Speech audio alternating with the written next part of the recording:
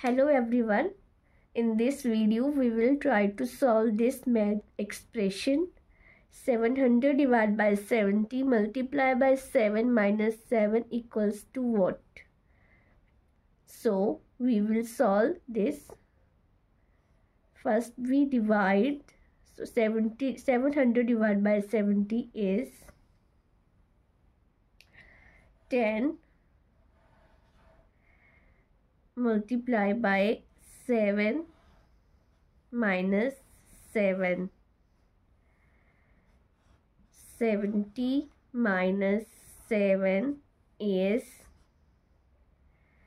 63 so 63 will be our correct answer. Hello friends. In this video we will try to solve this math expression so 5 plus 5 divided by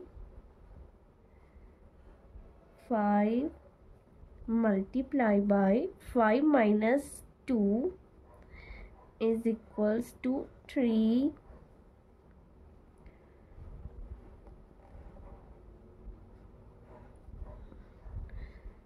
5 divided by 5 is 1 multiply by 3